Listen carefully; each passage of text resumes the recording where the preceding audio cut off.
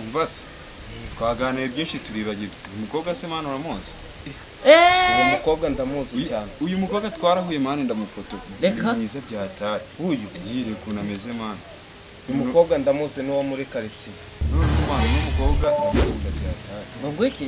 Ndamukunda ndamukunda byaganje se uri ubu. mani ntabwo ntawe ndiwe mani uriya mukobwa akunda abasore bize bazi indimi kandi wowe nta cyongereza uzi Ugize ngo uriya nibo baza bavugana nawe bonyine Kandi- ko mu ishuri wajyaga uba uwa nyuma mu cyongereza mani ntimuzi singenzi icyongereza byatari icyongereza ukuye he mu wa kane pirimeri bamenya kandi icyongereza? Urabizi uriya mukobwa akunda abahungu bifunga uriya mukobwa muri karitsiye nta musore ujya umuvugisha. uriya uramuzi? Mani nanjye ndifunga ahubwo ndakubwiye mwiyongoze ku cyongereza gikeya nzi kongeraho n'utundi genda nyine Wowe ariko ugiye genda. kudusebya ugiye no kwisebya nawe. Genda udusebye uriya ndamuzi. Mani reka ngenda ahubwo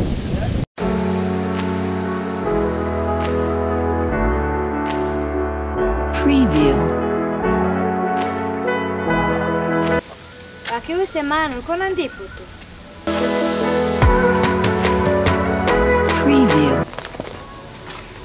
nilikuwa atinjisi mani nagerageje ndiho shano nari umujama noneho muri iyi minsi hundiho njyewe mbwira ndaspi. nahagaze iki kinyarwanda ariko uzambwira ibirimi ntazi ntibagira isobanuro nduzi se kundi minsi? Ariko nyine nawe urabona ubanza uramanga nyine ndagwakuye ari bumwe ako ubu turapasuramo ayo muri iryo tupasuramo ikirenge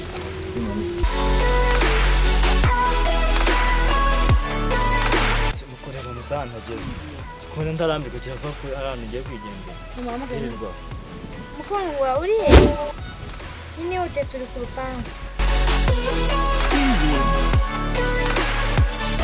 oh hey hey hey. Hello hello. It was beautiful. Kumbuka uva muwe muryango ushinga muryango vamwe ngo ni mu nzira you are shy. Umukongo uri mubi ugeze kwiyitaho ngo nyine ngo wajya ngo ntuzane ibyango babigurire. Simana muri ko ukiri kubona afite ikintu kandi nambaye neza ndi mwiza. Uyu njyewe yareba ngenda abona uri mwiza. This? Uzwi navuze? Ngo wapfuye mu mata. Wese yagiye kumvuga oya nyine uyu musore we tumbwiza ubu ngubu ndabona yanjye. Nyine tumwishyuze. Oh beautiful girl ngo kukureba tu- kukureba. Ngari kumva ngo yanaruka da sobanura ibyo avuze. Next day you can tell me to visit me. None avuze ibintu ndabizi niba sinabisobanura uzi ukuntu bivuze how do you speak? How do you speak? your face is very beautiful now. Avuze? None ibi ndavuze sinabisobanura pe. Ah, umva uno muntu.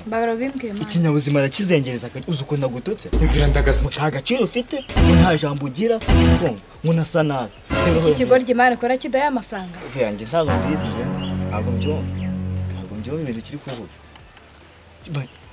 Cyandenze.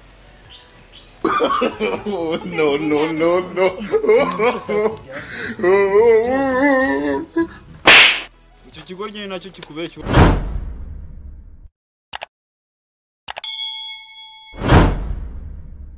yamen yamen nkita gashubi oji kora subscribe kuri youtube channel yacu yitwa rucampinga tv ahasigaye ibintu twimanukire.